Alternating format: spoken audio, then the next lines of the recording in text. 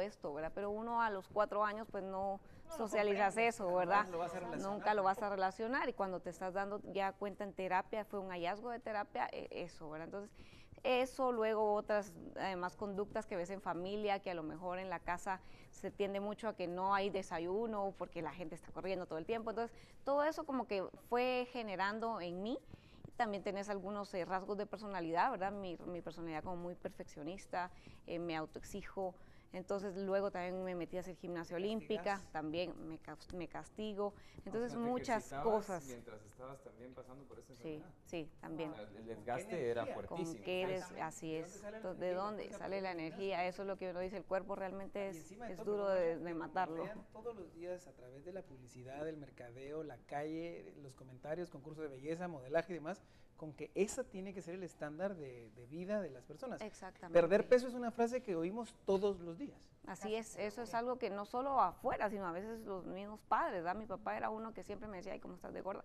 Y de repente no estaba gorda, ¿verdad? Pero mi papá siempre dijo ese tipo de mensajes. Y también se lo dijo a mi hermana, pero mi hermana no tenía esa personalidad, no tenía ese clic exacto. Ni, tampoco tal vez sufrió el trauma que tú sufriste. Y también son como comentarios que se pueden escuchar muchísimo cuando estás rodeada o cuando estás dentro del mundo del modelaje, o por ejemplo la gimnasia, como donde, donde tú estuviste, donde tenés que tener cierto peso, tenés que tener cierto medidas y obviamente son esos comentarios que recibís a diario donde tenés que estar de cierta manera. Así es, mi entrenador me decía, yo había subido dos, tres libras, no recuerdo, pero me había pasado de las 100 libras y me decía, ya te subiste de peso, necesito que regreses a las 100 y de verdad me llevaban a la pesa y sí estaba en 104, entonces tenía que bajar esas cuatro libras, entonces sí era como muy exigente en ese, en ese sentido.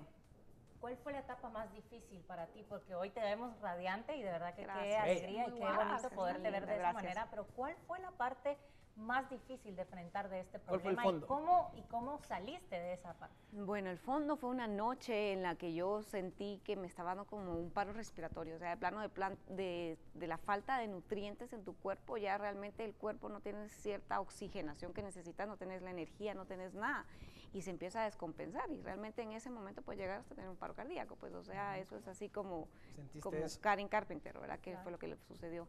Eh, sí, eso, sentí una noche y esa noche fue como mi, mi, fondo. Y yo dije, no, tengo que hacer las cosas de diferente manera, ¿verdad? Y fue bien difícil porque el punto de quedarme yo con el alimento, yo ahí estaba en un punto de bulimia muy, muy fuerte. Entonces, quedarme yo con la comida era, era lo más difícil. O sea, sentía que me iba a ahogar con la comida adentro. Er, sí, ya no, ya no era antes de, antes de esa noche, por ejemplo, tú ya identificabas que tenías esta, este, esta enfermedad.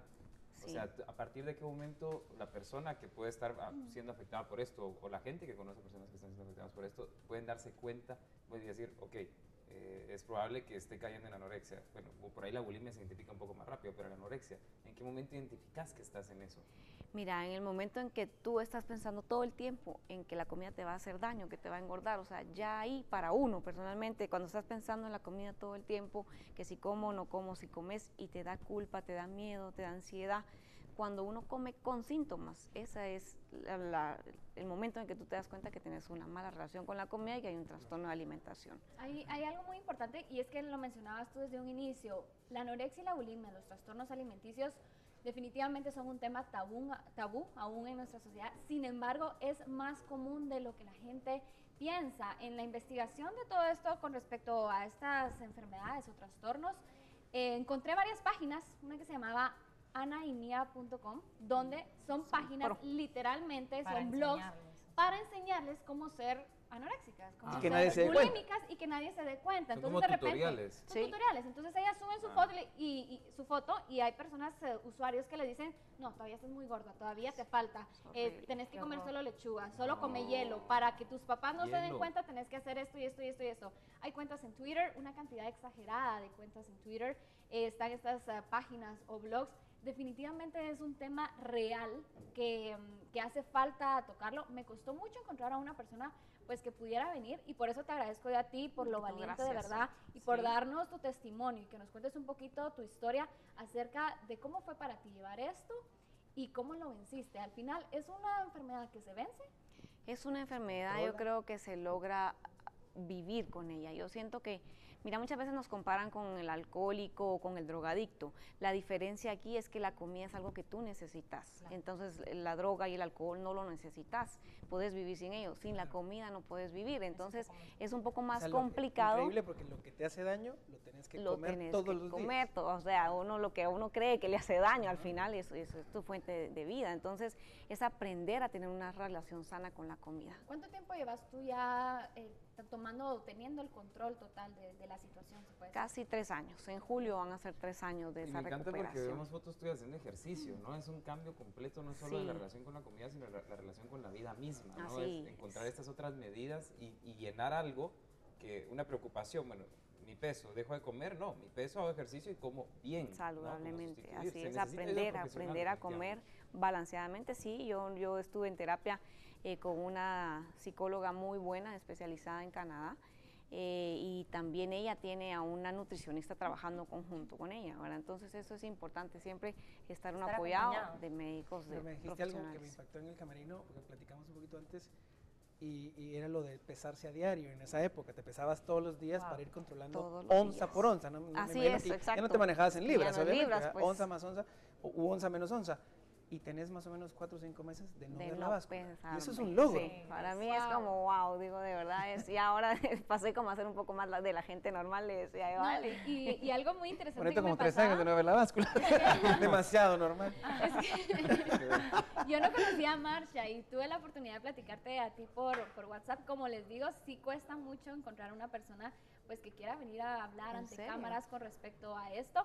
Pero platicamos por, por WhatsApp y, muy, muy contenta, muy emocionada. lo, lo, pude percibir de tu parte en venir a contar tu historia. Me decía, bueno, y te mando mis fotos. Entonces, para mí, en, en, la manera como yo lo veo, es obviamente un gran orgullo el tenerte aquí, que, que, tú tengas la fortaleza de poder hablar de eso, pero también que te sentís orgullosa lo que pasaste y cómo estás hoy, hoy en día, que a través de, pues, de un tema bastante difícil, una etapa muy complicada en tu vida. De todos modos, hoy estás aquí, radiante, guapa, linda y una gran persona. linda, muchas gracias. Sí, fíjate que sí, he, ayudado. Estamos trabajando también con un grupo que se llama Grupo Mírate, nos pueden encontrar en Facebook y estamos dando terapia no solo a personas que están sufriendo algún trastorno, sino a familiares que viven. Porque para poder acompañar bien, ¿no? Sí, mis papás, mis hermanos que no hay un papá que esté diciendo que gorda estás. Exactamente. No, flaca te estás poniendo. ¿Cómo también, pueden? También los, los papás en casa de repente lo ven eh, más allá que un problema psicológico como